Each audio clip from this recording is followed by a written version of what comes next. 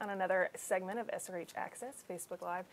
We were here on Wednesday with Dr. McIntosh, and we are back again for a twofer, two in one week. We're super excited mm-hmm. because we have clinical manager Jennifer Bowden with us. Hello. Welcome. Thank you. First Thank you. time on, and we're really excited to have you Yes. and just hear from you about some of the most frequently asked questions when it comes to scoliosis because we know that our nursing staff really gets these a lot from parents and from patients, and we just kind of want to get that all out the open and talk about it. Okay. So, to kind of start things out and be a little broad, what is the difference between an ambulatory care nurse Mm-hmm. and an inpatient nurse? Really, um, we use ambulatory care here, but really you could say a clinic nurse. I think that helps a lot of people um, when they're understanding the difference. But the clinic nurse is who sees you in clinic when you come to see the doctor, come to get your x-rays, you know, come to do PT, you know, all of that stuff. Um, and then the inpatient nurse is the one who takes care of you um, after surgery. Okay, cool. That's good to know because I think parents, you know, if this is your first time coming to the hospital, you're seeing a lot of people. Yes. And it's good to know that distinction. Mm-hmm. So, who will a patient be seen by during their first clinic visit when they come here? So the first clinic visit is the doctor and the clinic nurse, and then usually that doctor has um, either a nurse practitioner or a physician's assistant or a fellow or a resident that will also kind of tag along. But it's the doctor and the clinic nurse. Okay. So, specifically for a scoliosis patient that's coming here, you know, maybe they were at school and got a screening, depending on their age. Obviously, it's very different depending on the patient. But what happens during that first appointment that maybe they can expect to? Is the type of screening that's happening or that kind of thing? During the first appointment, usually if the kiddo does not have x-rays, we'll check some x-rays. Um, but usually before we check x-rays, we'll do a clinical exam and see where we say, okay, bend over, touch your toes, and check for scoliosis. So we check for, um, you know, a rib prominence, uneven shoulders, and just a good once over check you see what's going on. Okay. And then usually if we're worried about the clinical exam, then if they don't already have x-rays, we will check x-rays. So then, when a when a parent and a patient leave leave um, clinic and they're going home and they're kind of talking about whether they have to come back for another appointment, is the communication with the doctor's nurse or is it more with our front desk people? What's kind of the interaction that they would It's have? both. It's both. The doctor will give you a time frame when he wants to see you back. He'll say, you know, you know, we'll see you in another six months. We'll see you in another two years, or we don't need to see you unless you're concerned. Um, and so they will leave the room. The nurse will kind of follow up with the patient and the family, answer any other questions, and kind of reiterate the plan going forward. And then you will. You'll leave out of that room, and then you'll check out with our um, front desk staff, and they will get you scheduled. Great. So we've kind of talked about the clinic and the actual appointment. So I think a lot of questions come from surgery. Yes. Scoliosis surgery. We know that not every patient gets scoliosis Right. surgery. It really just depends on the case. But that's definitely where a lot of anxiety probably comes Yes, for yes. parents. Um, so what if parents have questions regarding surgery beforehand? You know, it's maybe it's the night before or it's a Mm-hmm. week before and they don't have an appointment yet. Or what is who do they contact? Who do they talk to? Is it the nurse? Is it what can they expect with that? So that would be the clinic nurse, and truly, um, you know, families are always encouraged to call. Families are encouraged to literally write their questions down so that they can empty their brain out onto a piece of paper and then feel like they're resolved and they've gotten all their questions answered. The clinic nurse is always happy to answer questions. If it's at night or like on the weekends before surgery, you could definitely call the main number and talk to one of the nurses on the inpatient unit Okay. um, and they will be happy to try and answer your question as best they can. Okay. Um, but they, we really encourage our families to reach out, call us with any type of question. Great. So let's kind of get into its day of surgery, kind of things going on, and, and obviously there's people are concerned, the parents are worried. Yes. Their little one is going into surgery. So where do parents wait while the child is in surgery? Parents can wait truly wherever they'd like. Um, usually, the the kiddo will get a room on the inpatient unit. Uh, well, we'll kind of get them ready before they go down to the actual operating room, and the parents can wait in their room up on the inpatient unit. We have a very nice surgery waiting area up on the fourth floor. Um, that's really calm and quiet and kind of removed from all the hustle and bustle around the operating room and the inpatient unit. Um, you're welcome to go, you know, anywhere in the hospital. You can have lunch, you know, breakfast, anything like that. Um, you just have to stay on campus. Okay. So you can wait wherever. Um, we will give them a pager. Okay. So if we do need them, if it's time for updates, we will page you. And we know that that pager only works on campus. And so if they're paged, where is it that they're supposed to go? Is it to the room or to the waiting If they're room? paged, they go to um, the front desk of the OR. So Okay. of the operating room, there's a secretary there that will like either do it via phone or you know via nurse an Okay. update.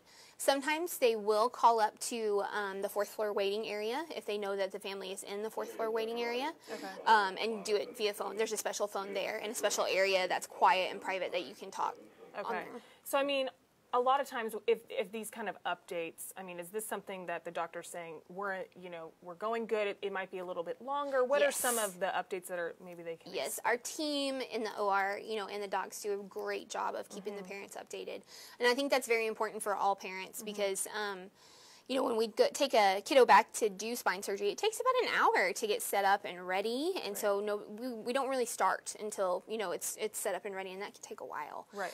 Um, so usually they give you a call and let you know we're actually starting. Um, and then the updates come about every hour and a half to two hours. Usually, once the surgeon's done with um, all the screws, you know, they'll call and say, We're done with the screws, we got to put the rods in. Usually, you know, they'll call you again when they're done with the rods. And then they'll definitely call you and tell you they're closing up. Okay. Uh, closing up can take a while too. And then um, they will call you, and the surgeon will actually speak to you once the surgery is done. You were kind of talking about how the um, when you know where to go, like on the the um, surgery check-in and, and all of that. So these families, they're obviously seeing kind of a walkthrough of this before surgery. So let's kind of like back up a little bit and maybe talk about parent and patient come. I mean, is it are they checking in a day before? Like, aren't they going through kind of a list of Yes. where you're supposed to go, what time you're supposed to be there, so they know where to go? Because We do. We have an admissions process that can be done the day before. Most of our spine surgery patients do come in the day before. Um, it's kind of a grueling visit. We do a lot. They meet a lot. They see a lot. Um, we'll do labs, you know, check some blood work if we need it, get more x rays. We actually get clinical photos of you so you can always remember what you look like before we did surgery. Um, you'll meet your inpatient nurse, you'll meet a dietitian, you'll meet somebody from Child Life. Uh, sometimes you will meet one of the um, OR nurses that will talk to you a little bit about the OR happenings. Um, sometimes you'll meet an anesthesiologist the day before. Usually you'll see either your doctor or one of your doctor's um, fellows or residents. And um, then you get to meet the nursing staff upstairs. That's so. I mean, it's so cool because I think that definitely helps with the anxiety part of it. Just Yes. Getting to meet these people and put faces to their names Yes. and know that okay, my child is in really good hands, which we know at Scottish Rite Hospital they really are. Yes, we do. You know, it is. We, you know, we tell all of our families this is a long day, but by the end of that day, you're going to feel so ready and tired of talking about information. You're going to feel good about moving Right, forward you're the next like, day. let's get it. Yes. Mm-hmm. let's get it going. Okay, so surgery happens, and and we talked about the communication during surgery. Mm-hmm. So let's kind of get into what happens after surgery and what is the expectation a parent should have on when they'll be able to be united back with their. With So their usually, you know, the kiddos will spend anywhere from you know half an hour to an hour or longer in um, recovery or PACU, what we call. Um, and when the kiddos are awake and um, breathing tube is out, we will call the parents, you know, as soon as soon as we can. Um, and once the kiddos are awake, parents can come back, lay eyes on kiddo, and um, most of the kids don't remember that part. They're Yeah. still fuzzy, um, but we always reassure them that your parents are called the second you're awake. You know, so we do as soon as the kiddo's awake and everything's looking good, we, we call them back, and then um, parents will say, you know, we're gonna they will excuse parents in the in the recovery area, and we'll say we're gonna go up to the you know your room in a little bit. So then parents can walk up to the room, and um, then kiddo rolls up to the room shortly thereafter. That's great. So then, what about once they get to the room?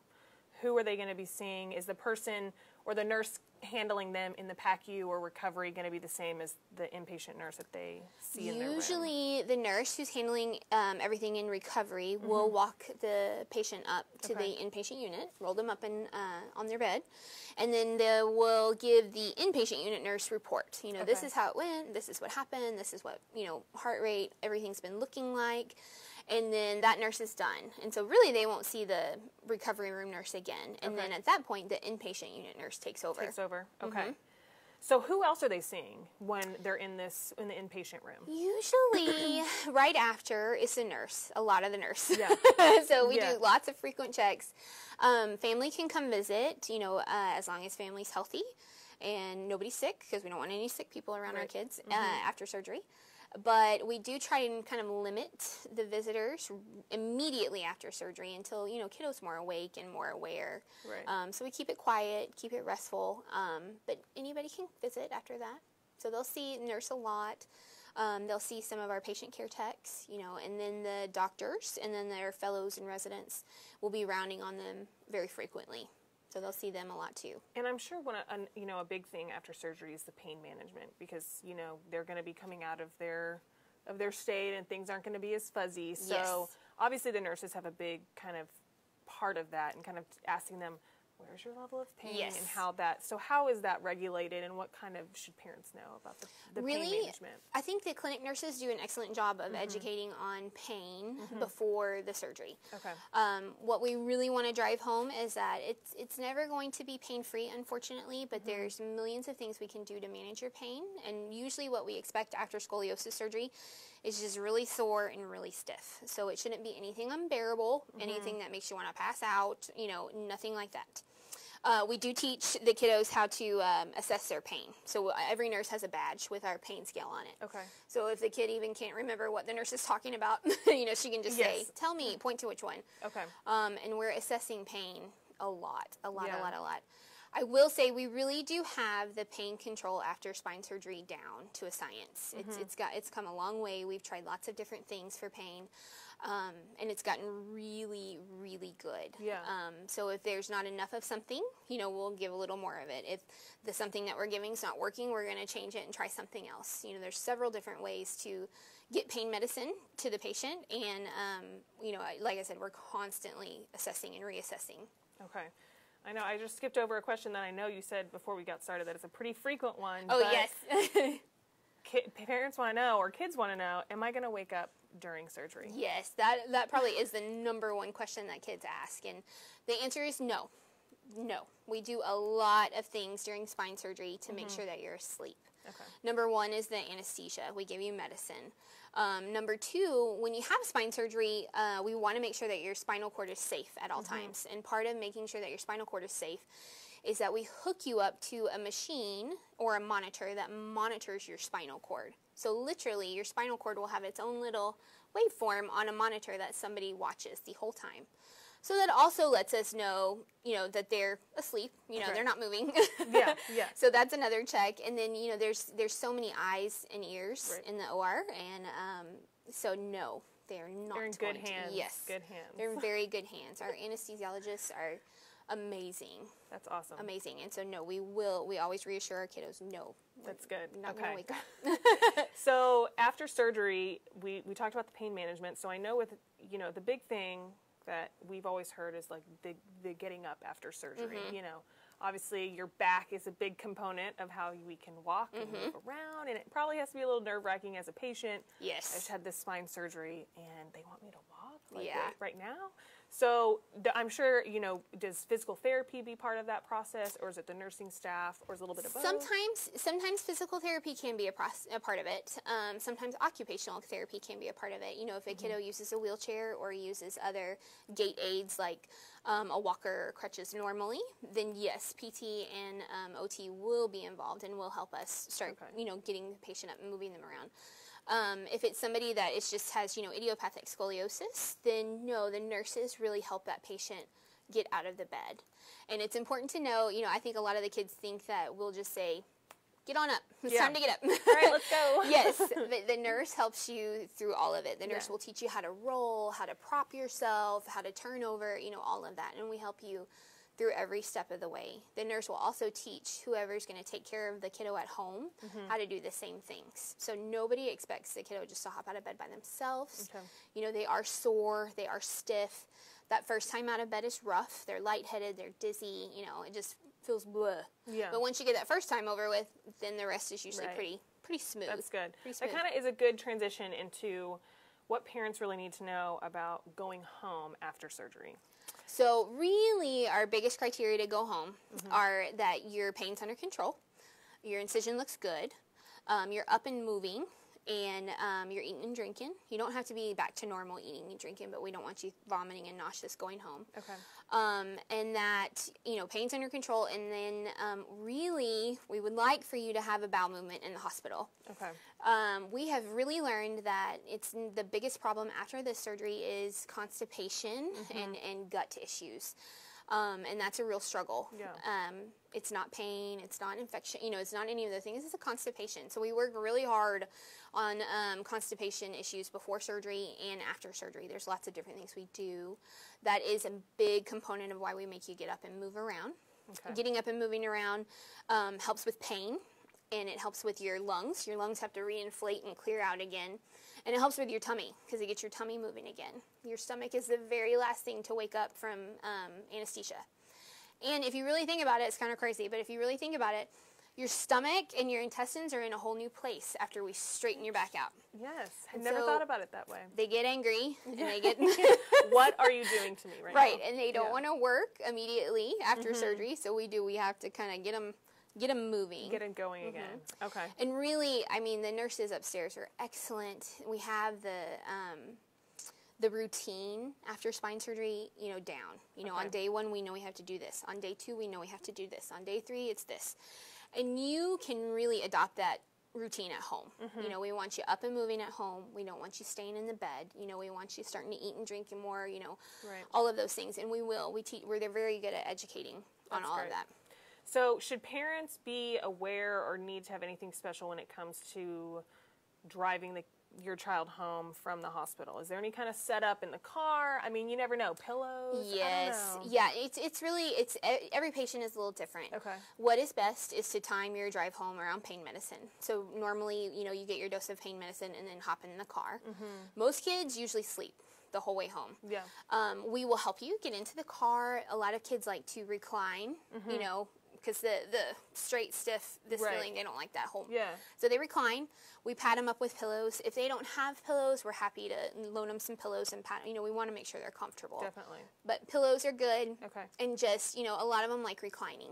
Okay. So, and if you have, you know, we have kids from all over the place. You know, we have kids that fly, you know, on eight hour flights. We have kids that drive home, you know, Mm-hmm. eight hours. So it's definitely possible if it's a long trip. And, you know, what we recommend is just like we do in the hospital every about hour and a half to two hours, Mm-hmm. get up, pull over, you know, walk around, Yeah. move around, change positions, you know. That's good to know. And then, I mean, the same thing. What about the bed at home? I mean, is this something that maybe they should be on the couch with more pillows? Like, is there any recommendations or maybe what parents should know about that? There really isn't re- any restrictions on your bed after Okay. surgery. Um, if your room is upstairs, a lot of times, you know, for the first week after surgery, they'll relocate down, somewhere downstairs. Okay. What really is most important is that um, you're able to get in, in and out safely. So Okay. a lot of times, if your bed's high, you can use a stool, you know, and we can practice that here in the hospital Okay. to get in and out of bed. Um, you don't need a hospital bed. You know, we teach you how to get it, you know, up and down. We can even go as far as teaching you how to use the sheet underneath you to move and help and assist. Um, but no, no special bed. You just have to make sure they're comfortable. Something too soft is usually not very good. Um, some kiddos do like a recliner though because they do like they don't, they're not really liking the whole flat thing. So Right. they they like to recline. So, I mean, and it just really depends on the patient. That's It does. That's what this is It all does. about. It does. The most important thing is that um, you know you're repositioning in bed, so you're not getting stiff, Okay. um, and that you're able to get in and out safely. And then, is there any education on kind of the the um, what's covering the incision? Like when they leave here, are they they have a bandage on? Is that something Mm-hmm. that they need to come to the hospital to get changed out, or is that something the parent or guardian is is handling for them? They can. The parent or guardian can definitely handle that. Okay. Easy peasy, and we will show you how to do it. I mean, that that's. I think that's a nerve wracking thing for everybody who goes home. Mm-hmm. Yeah. Um, but when you come out of surgery, you have a humongous dressing on, a big fat dressing that gives good pressure to the incision. Okay. But before you go home, we change that dressing, take a really good look at the incision, and then replace it with a really skinny, flat dressing okay. so it doesn't feel humongous and uncomfortable. Um, The incisions are really they're long, but they're very skinny, very very thin, and um, they will put the paper tapes over the incisions in the OR. So those little steri strips. Okay. So there'll be lots of paper tapes. You don't have to mess with those; they can fall off on their own. Okay. Um, and we'll show you how to put a new dressing back on. And so, and every doctor differs in the types of dressing that that they like to use and how frequently they want you to change it. You know, all of that stuff. But um, but yes, we do teach you that. We do enable, you know, you to, to do that, and we send you home with some dressings. That's great. Mm-hmm. But what about showering? You know, is that something that they can do? I mean, are they bathe? Is it more of kind of a bathing situation? So it's definitely showering. So Okay. no soaking that incision in any water for Okay. a good, you know, probably four weeks or so. Okay. And again, every every surgeon is different. Um, but really, we want you showers only? Okay. because we don't want that incision underwater. Because if you have the incision underwater, it can get infected. Okay. So showers only. Um, usually, what's easiest is if you get in the shower with your back dressing on and let you know just let it get wet and um, kind of loosen up, and then after shower, you know, take that dressing off, pat dry, and then replace the dressing if it's, Okay. if you still need to replace the dressing. Great. But yes, you can shower, you can wash hair. You don't do anything special to the incision for about you know four to six weeks. So no creams or lotions to the incision. You can wash your hair. It's most helpful to have uh, like a little a stool or a chair, like even like a lawn chair in the shower. Okay. The first couple of times because the kids get very lightheaded, very dizzy. Um, those first couple of showers. So we always say, you know, somebody, mom or dad, somebody has to be right beside you the Yeah. first couple times. Building that strength back up. So I think we have two more questions. Mm-hmm. Okay. Will the patient have a scar from surgery? Which I think you kind of talked about. But I mean, is it something that I mean, everyone's kind of different depending on the type of Yes. surgery. Yes. But They will. They will. they will have a scar. Um, it's actually a very, as far as scars go, it's a very nice scar. Yeah. Mm-hmm. Um, it's usually long and thin, very, very thin. And if you take care of it, it will really heal up and be and flatten out. And it just looks like a faint pencil mark down the middle of your spine. okay. So it's one one straight line down the middle of your spine.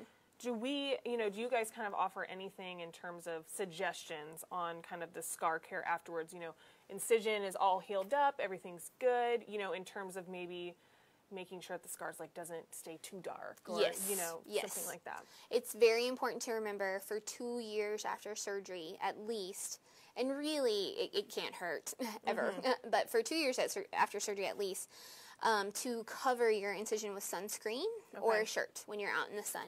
Okay. Because that the that scar is new skin, and if you discolor that new skin with the sun, it will stay permanently discolored. So you really have to protect it from the sun. Okay.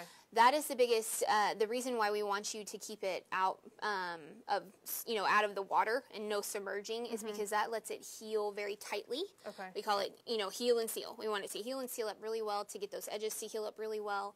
Um, and if you keep it drier, it heals better. So the cleaner and the drier, the better. Whenever you're talking about a back dressing or, uh, you know, a surgery scar, the cleaner, the drier, the better. That's great. And every surgeon, you know, has a different um, time frame on when they let you start to put, um, you know, Mederma, aloe vera, vitamin E on the incision. Okay.